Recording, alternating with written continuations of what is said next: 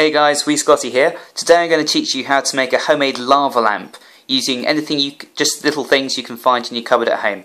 So, first things we're going to need to do is you'll need to collect your materials. First thing you're going to need is a standard glass tumbler or a tall jar, preferably quite thin. Uh, we'll talk about that a bit later. The second thing you're going to need is just vegetable oil. Uh, olive oil works as well, but it's a bit more expensive, so just any kind of uh, vegetable oil. As well as that, you're also going to need a small amount of water.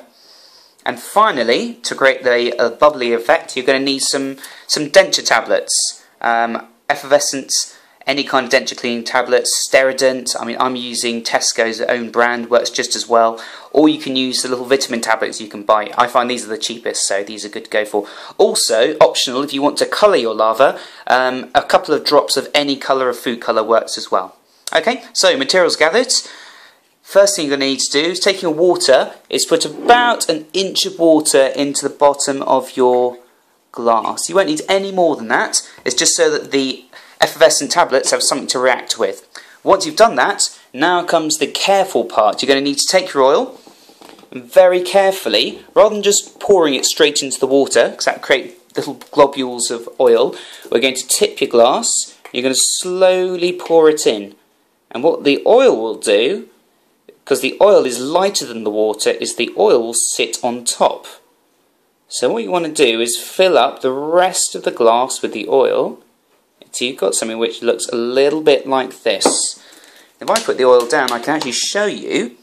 Look what happens to the water when you move the oil around. You can actually see the level of the water moves around like this. And this is because the oil is lighter than the water, so the water will naturally sit on the bottom and just like you find at the bottom of the sea, you get underwater lakes where the water at the bottom of the sea is so dense because the amount of salt in it that it creates a different form of liquid. It's heavier. So the water on top of the sea will actually float on top of these underwater lakes. And it's the same for oil and water. So I'm going to put that in the middle there.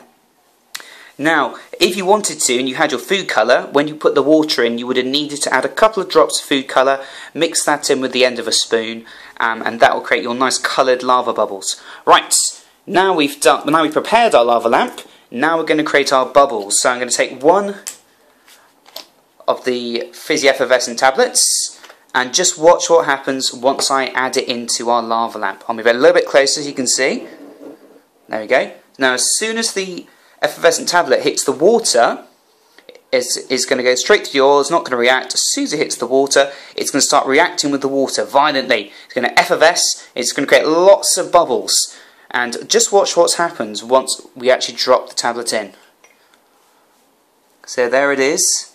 The oil is just coming off the tablets and you can see it's starting to react. And all those little bubbles are going up through the water into the oil and they're starting to float all the way to the top, just like a lava lamp. Now, if you look very closely, you'll start to see some of the bubbles are beginning to drop back down again. And this is because when the, when the bubbles initially join together in the water layer, they, call, they form large bubbles. And just as they leave the water layer, um, as larger bubbles, there are lots of tiny other little bubbles which will uh, try and tag on to the outside of those, and they're the ones that, just like a life preserver in a, in a raft, or just like if you've got water wings on your arm when you go to the swimming pool, they are pulling the larger bubbles up up to the top. Now what's important is these bubbles, on the outside of the bubble it's made out of water. Now, like at the beginning of the video, the water is heavier than the oil. So after the bubbles get to the top, because they're touching the air, all those tiny little bubbles which are, which are acting like life preservers or like armbands are popping. And then suddenly, the bubble of water is, is too heavy, so it's beginning to drop back down again. And so this will continue all the way until your um, fizzy effervescent tablet eventually stops fizzing. And if you notice, if I move it back a little bit, you may be able to see that the colour is actually pink. And that's I've not I think that's something to do with the actual tablet itself, because when they started off, it was bright pink. Although one thing I've noticed is that once the tablet is finished dissolving, if you leave it for half an hour to an hour afterwards, the water and the kind of pink um, foam on top eventually clears and it goes back to being clear water and the oil itself once all the bu water bu air bubbles have popped that will also pop out and so you'll end up with a nice clean lava lamp Now, at the beginning of the video, I suggested you had you could go for a tall, thin glass or a tall, thin jar, possibly like an olive jar. And the reason for this is I think you'll get slightly better effect because the bubbles will have further to go and they'll also drop down as well, which will have a slightly nicer effect. One thing you can also do, and I've tried this out at night time, is if you get one of the little um, push button LED lights that you might stick on the inside of your cupboard and put it underneath, it actually um, gives the lava lamp a nice uplit um, light. Especially if you turn off your lights, put that on, and it'll actually look like a real lava lamp. So there you go guys, a homemade lava lamp, um, safe to do in the classroom, as you can probably see, there's nothing dangerous going on at all. Uh, it's a great way of teaching uh, about gravity, about weight and density if you're in Key Stage 2 for science, and it's also a bit of fun as well, because you can use any colour of um, food colouring, and as a bit of an as a bit of an experiment, why not um, experiment with the different types of oil?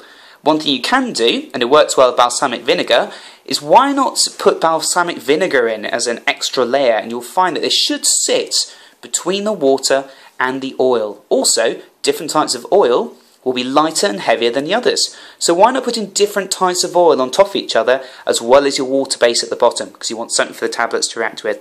Anyway, there you go guys. Hope you enjoy making that at home. And remember, if you like the video, um, like and subscribe and if you did enjoy the video and you found it really helpful, or you'd like to know more about how to make things like this at home, then drop me a line using my username, or you can find me at tim underscore cared at hotmail.com. Okay, enjoy guys, and stay tuned for more.